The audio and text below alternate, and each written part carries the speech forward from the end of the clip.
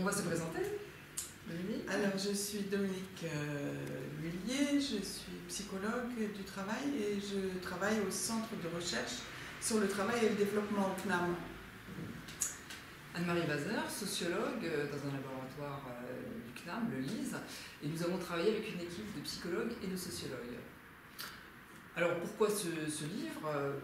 Pour rendre compte en fait de la visibilité d'une population importante. Hein. il s'agit de 10 millions de personnes en âge de travailler qui ont une maladie invalidante, ça représente tout de même 20% de la population active. Donc ce livre rend compte en fait de, ce qu'ils font, ce qu'ils essayent de faire lorsqu'ils sont en emploi. un déni largement entretenu parce que un déni à la fois individuel mais aussi collectif, tout simplement parce que la maladie au travail est pénalisante pour les carrières, mais également un vrai risque pour, euh, pour l'emploi. Ce livre va donc montrer l'ensemble des activités que, développent les personnes pour euh, se maintenir en santé, pour améliorer leur santé, mais aussi surtout pour faire avec leurs symptômes dans leur vie de tous les jours, mais aussi euh, dans, leur vie euh, au travail, car la maladie chronique euh, est, une maladie qui va durer tout au long de la vie, ce n'est pas une parenthèse comme, comme une maladie aiguë. Alors, la conception de ce livre, elle a été, ce livre a été pensé surtout pour rendre compte du vécu, mais également des expériences des personnes touchées par une maladie chronique, dans le cadre de l'entreprise. Euh, que parviennent-ils à faire lorsqu'ils ont par exemple une baisse, euh, baisse de forme momentanée ou plus durable? Comment parviennent-ils à gérer ces moments au sein de l'entreprise? Ils ne sont pas seuls, donc ce livre va apporter des éléments non seulement sur les personnes touchées par une maladie, mais également sur leurs collègues et également sur euh, l'encadrement intermédiaire qui ont à gérer au quotidien en fait, des personnes qui peuvent avoir momentanément, plus durablement, des problèmes de santé. Alors l'originalité de ce livre, euh, peut-être que Dominique... Oui, bah oui, on voudrait insister quand même sur l'originalité du livre, bien sûr. Hein. D'abord, on peut dire, comme, comme vient de le souligner Anne-Marie, c'est un sujet tabou. Euh, le, malade euh, se cache, c'est une question qui est, qui est, peu débattue, peu mise en visibilité dans, dans, le monde du travail. Or, justement, ce livre donne enfin la parole aux malades. Et, du coup, il donne accès à cette dimension invisible de, la vie des organisations.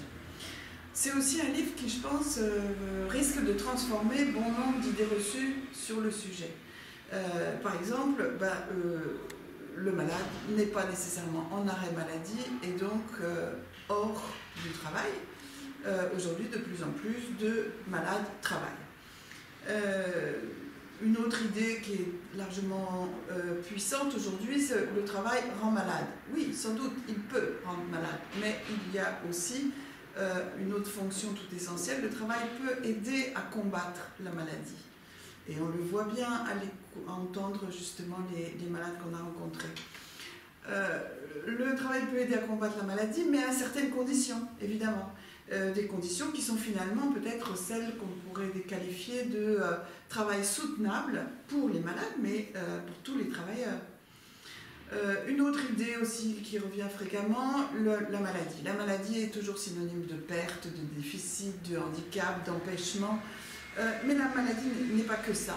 La maladie n'est pas que ça. La maladie, ça permet finalement de revisiter son projet de vie, ses projets professionnels, de refuser de perdre sa vie à la gagner, euh, de construire un autre rapport au travail et, donc au monde, aux autres, à soi-même. Euh, enfin, on pourrait souligner aussi que finalement, les, salariés qui sont malades, les personnes qui travaillent et qui sont malades, constituent de formidables révélateurs des transformations du monde du travail. Transformations qui rendent quand même euh, de plus en plus le travail proprement invivable. Alors, peut-être un point final, euh, les, malades ne sont évidemment pas d'une autre nature euh, que les bien portants. Euh, la question des fluctuations des capacités productives nous concerne tous. on a tous à certains moments des baisses de forme. Autrement dit, la question fondamentale de cet ouvrage, c'est peut-être un enjeu qui est un enjeu commun à nous tous. Comment travailler, comment organiser le travail en reconnaissant la vulnérabilité qui, définit, qui nous définit et qui nous garantit euh, comme humains. Finalement, comment humaniser le travail Alors c'est sans doute la raison pour laquelle ce livre peut intéresser bien évidemment des malades qui trouveront la matière à repérer qu'ils ne vivent pas dans une solitude extrême les difficultés qui sont les leurs, mais que celles-ci sont partagées par beaucoup. Euh, ce livre peut intéresser tous les professionnels du champ de l'insertion professionnelle, du maintien en emploi, de la santé au travail, mais plus globalement, ce livre peut intéresser tous les travailleurs. On vous le recommande.